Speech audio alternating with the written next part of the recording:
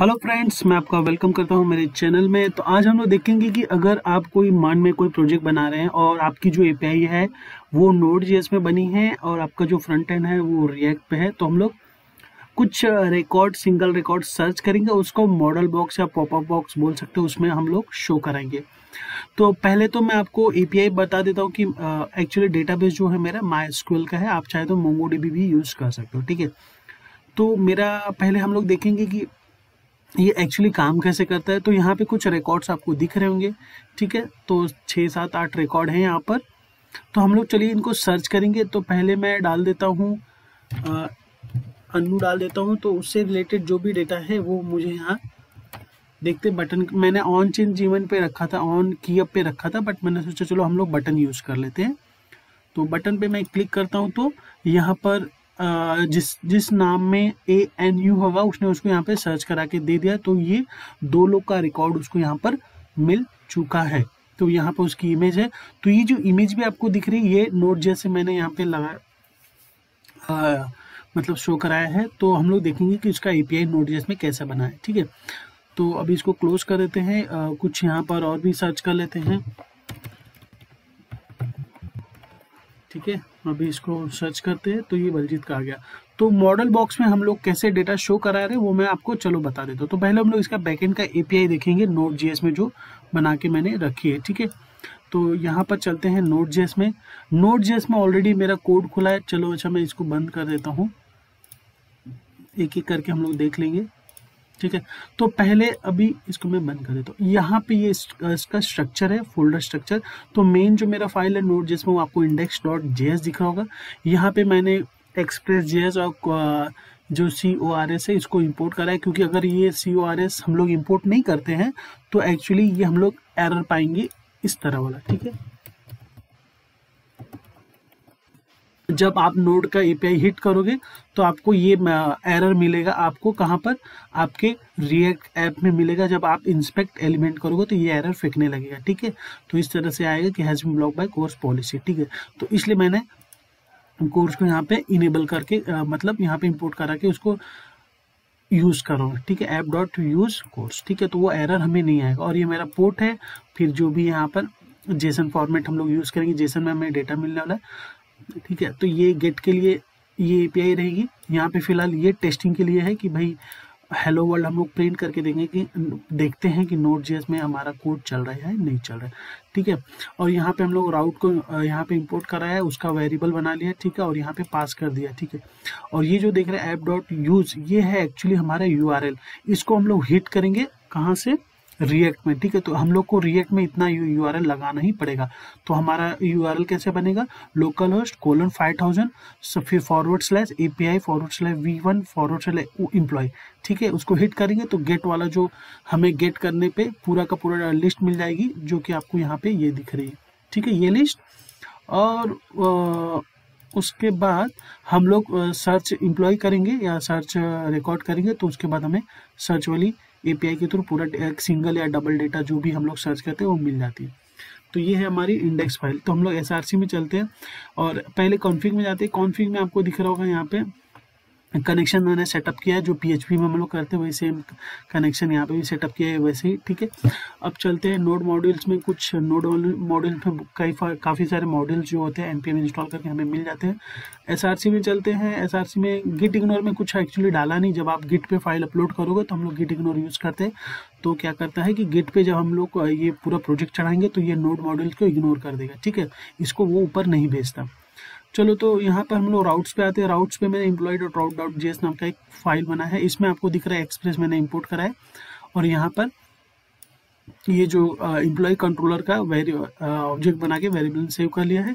और यहाँ पे ये जो रूट दिख रहा है आपको राउटर या रूट जो भी बोल लीजिए गेट ऑल एम्प्लॉय तो गेट ऑल एम्प्लॉय हमको इस तरह से मिल जाएगा। और जब हम लोग कोई नाम सर्च करेंगे तो वो हमको इस तरह से मिलेगा। सर्च एक रिकॉर्ड फिर ये फ़र्स्ट नेम फ़र्स्ट नेम मतलब आप जो भी नेम यहाँ पे डाल रहे हो। जो भी आप नाम डालोगे बलजीत है या एंथोनी है, अनु है, जो भी है, वो यहाँ पे आएगा, ठीक है? यहाँ पे आएगा, उसके बाद का ये फिर चला जाएगा कंट्रोलर में, ठीक है? अब चलते हैं राउट के बाद हम लोग देख लेते हैं कंट्रोलर जैसा कि मैंने बताया employee controller dot get employee by name और यहाँ पे दो तो ये दो फ़ंक्शन है यहाँ पे। ये सर्च के लिए एक फ़ंक्शन है और एक गेट ऑल लिस्ट के लिए फ़ंक्शन है। गेट ऑल लिस्ट मेरा कहने का मतलब है, ये पूरी जो लिस्ट आपको मिल रही है, ठीक है? और बटन दबाने पर ये जो डेटा मिल रहा है, वो मेरा यहाँ पर है। इस पे आएगा और वो जो पूरी लिस्ट थी, वो यहाँ पे आएगी। तो चल के देख लेते हैं get employee by name controller में चलते हैं। तो यहाँ पे आपको देखा गेट एम्प्लॉय लिस्ट जो कि आपको राउट में यहाँ दिख रही थी गेट एम्प्लॉय लिस्ट और ये जो है गेट एम्प्लॉय बाय नेम तो बाय नेम आपको यहाँ पे दिख रहा होगा, ठीक है? तो इस तरह से ये वर्क कर रहा है कंट्रोलर तो कंट्रोलर में हम लोग जो भी पैरामीटर आएगा फ़र्स्ट नेम उसको पास कर देंगे यहाँ पे मॉडल में, ठीक है? तो यहाँ पे आपको दिख रहा होगा मॉडल में यहाँ पे वेरिएबल वगैरह बना के हम लोग ने गेट ऑल एम्प्लॉय और गेट एम्प्लॉय बाय नेम को क्वेरी के थ्रू जितना भी रिज़ल्ट है, हमें मिल जाएगा, ठीक है? तो ये सिंगल डेटा के लिए है, जो हम लोग सिंगल रिकॉर्ड मतलब जो हम लोग सर्च कर रहे हैं तो उसमें बलजीत नाम के दो लोग भी हो सकते हैं, तीन लोग भी हो सकते हैं, ठीक है? या जैसे अन्नू हमने सर्च किया तो अन्नू जिसके जिसके नाम में अन्नू था, वो वो यहाँ पे सर्च होके आ गया, ठीक है? जैसे ये दो डेटा आ गया यहाँ पे। तो वो एक्चुअली इस तरह से काम कर तो वो जो उससे मैच होता रिकॉर्ड होगा, वो सर्च करके देगा, या दो हो, एक हो, चार हो, पाँच हो, जितना भी। और ये मेरा जो फ़ंक्शन है वो किसके लिए है? वो है गेट ऑल डेटा के लिए। तो ये अपना हो गया कि नोट का पार्ट एपीआई का पार्ट अगर आप बहुत, अगर आप फ्रेशर हो तो आपको शायद से नहीं समझ में आएगा बट अगर आपको नोट का थोड़ा मोड़ा नॉलेज है तो ये बहुत ईजी है। आपको बिल्कुल समझ में आ जाएगा और इसका कोड मैं दे दूँगा, आप वहाँ से डाउनलोड कर लीजिएगा। चलते हैं रिएक्ट के पार्ट पे। रिएक्ट का पार्ट मेरा यहाँ पर है। इसको मिनिमाइज कर देता हूँ। ओके तो एक्चुअली पब्लिक में पहले मैंने कुछ बूटस्टेप का डिपेंडेंसी ली है। क्योंकि मैं बूटस्टेप यूज़ कर रहा हूँ तो बूटस्टेप फोर वगैरह यूज़ कर रहा हूँ मॉडल बॉक्स वगैरह के लिए तो आप बूटस्टेप को इंस्टॉल भी कर सकते हैं या इंपोर्ट भी करा सकते हैं। मतलब इंस्टॉल भी कर सकते हैं और इसका सीडियल लिंक भी यूज़ कर सकते हैं, ये आपके ऊपर डिपेंड करता है। अब हम लोग एसआरसी में चलते हैं। इसको फ़िलहाल बंद कर देते हैं। तो मेरे पास एक फ़ाइल है सर्च एम्प्लॉय ये फ़ाइल भी थी, पर इसको हमारे, हमें इसकी नीड नहीं बंद कर देते तो एक ये फ़ाइल दिख रही होगी आपको। ठीक है?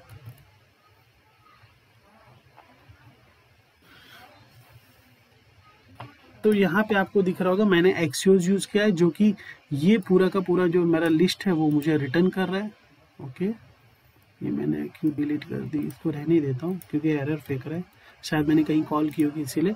तो ये जो लोड इम्प्लॉय है, ये पूरा का पूरा लिस्ट मुझे लोड करके दे रहा है, ठीक है? और इसको मैं यहाँ पर यूज़ इफ़ेक्ट में डाल दिया जिससे कि मेरा जैसे पेज लोड होगा वो सारा का सारा डिटेल नोट जीएस से लेते आएगा। तो जो मैंने आपको लिंक बताया था कि local host dot colon fight on A P I V forward चला वी वन फॉरवर्ड चला इम्प्लॉय तो ये ये आ, हाँ ये रूट से मुझे पूरा का पूरा डेटा मिल गया ठीक है? अब मैं क्या कर रहा हूँ? एक मिनट यहाँ पे मैंने इंडेक्स में वो रूट सेट किया था नहीं तो मैंने क्या किया, इसको यहाँ पे कॉपी किया और यहाँ पे यूज़ कर रहा हूँ, ठीक है, यहाँ पे। तो ये रूट होता है, इसको हम लोग रूट बोलते हैं, ठीक है। तो ये रूट हो गया मेरा लोड इम्प्लॉय के लिए और ये हो गया मेरा सर्च रिकॉर्ड के लिए। यहाँ पे मैं सर्च रिकॉर्ड का पे यूज़ कर रहा हूँ, फिर वही मैंने ये रूट यूज़ किया है और ये जो सर्च रिकॉर्ड है, ये मेरा राउट फ़ाइल राउट में यहाँ पे मैंने यूज़ किया। सर्च रिकॉर्ड और फ़र्स्ट नेम ठीक है तो ये ये वाला चीज़ यहाँ पे है। यहाँ पे। ठीक है सर्च रिकॉर्ड उसके बाद जो पैरामीटर वो वो यहाँ पे आ जाएगा। उसके बाद सारा का सारा जो भी रिकॉर्ड है, वो मैंने यहाँ पे स्टेट में ले लिया है और उसके बाद उसको मॉडल बॉक्स यहाँ पे मैंने नीचे मॉडल बॉक्स बना के रखा है। ठीक है, ये मॉडल बॉक्स है। इसमें सारा का सारा मैंने टेबल शो करा है। टेबल में डेटा शो करा दिया, जो कि आपको यहाँ पे दिख रहा है। ठीक है तो इस तरह से ये वर्क कर रहा है। तो काफ़ी सिंपल है ये मॉडल बॉक्स में हमें डेटा को रेस्टोर कराना है। तो रिएक्ट जेस में काफ़ी सिंपल है। अगर आपका रिएक्ट और नोड में आप बेसिक मतलब फ्रेशर नहीं हो, आपको थोड़ा मोड़ा भी नॉलेज है तो आप इसको बहुत ईजिली से कर सकते हो। ठीक है तो वीडियो देखने के लिए आपको दोस्तों बहुत बहुत धन्यवाद।